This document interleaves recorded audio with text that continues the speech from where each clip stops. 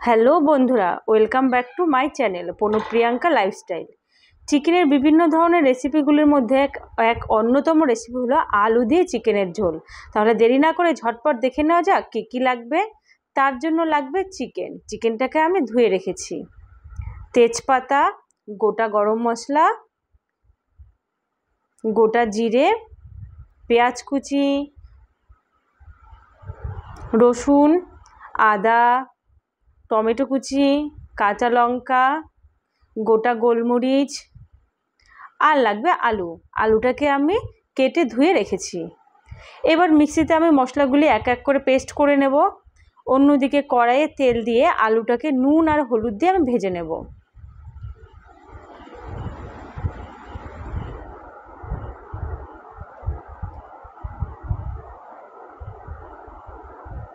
আলুগুলো লাল হয়ে গেছে। এবারে আমি একটা প্লেটে তুলে নেব।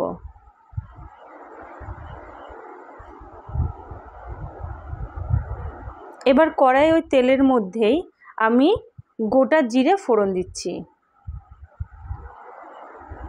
হাফ চামচ চিনিও দিয়ে দিচ্ছি। দুটো তেজপাতা দিয়ে একটু নেড়ে নিয়ে রসুন বাটাটা আমি আগে দিচ্ছি।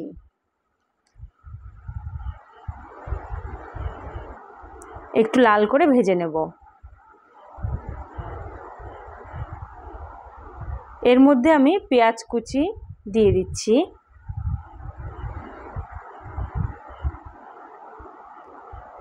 সামান্য নুনও দিয়ে দেব।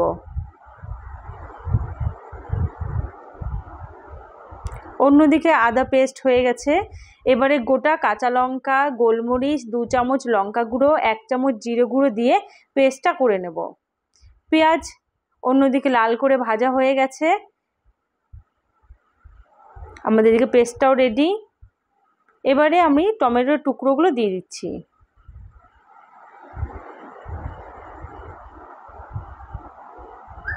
আদা বাটাটা দিয়ে দিচ্ছি।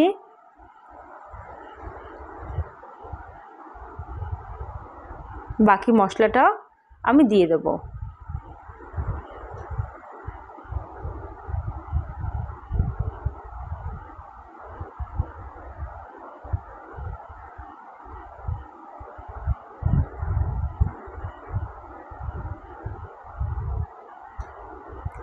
এবারে এক চামচ হলুদ গুঁড়ো, স্বাদ মতো নুন দিয়ে ভালোটাকে, মশলাটাকে ভালো করে মশলাটা কষিয়ে নেব।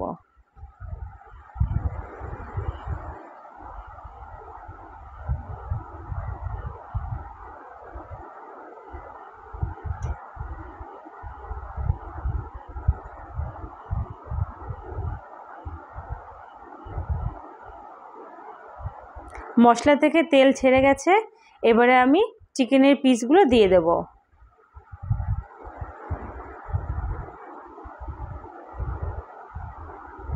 মশলাটা চিকেনের সাথে ভালো করে মাখিয়ে নিয়ে আমি এবারে ঢাকানা দিয়ে দেব।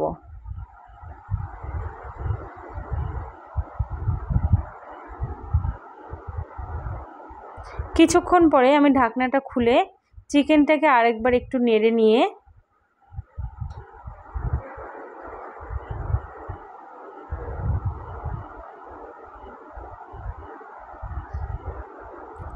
একটু সামান্য জল দিয়ে দিলাম। এবারে আবারও ঢেকে দেব।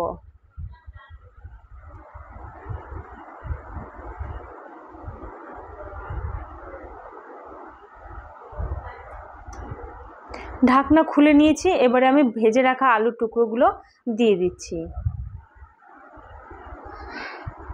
মাংসটাকে এবারে ভালো করে কষিয়ে নিতে হবে। জল শুকনো অবধি। জলটা আমাদের শুকিয়ে গেছে। এবারে আমি অন্যদিকে একটা বাটিতে গরম জল করে নিয়েছিলাম। সেটা এবারে দিয়ে দেব। ফুটিয়ে রাখা গরম জলটা দিয়ে দিচ্ছি।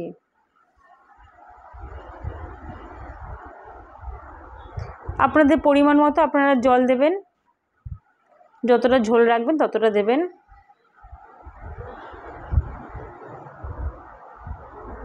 কিছুক্ষণ পরে আমাদের ঝোলটা দেখুন, অনেকটাই শুকিয়ে এসছে।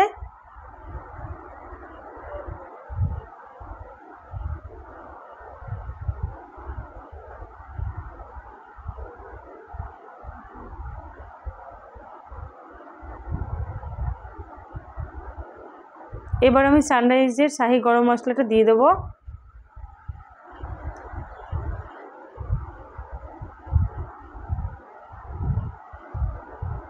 এবং একটু নেড়ে চেড়ে নামিয়ে নেব।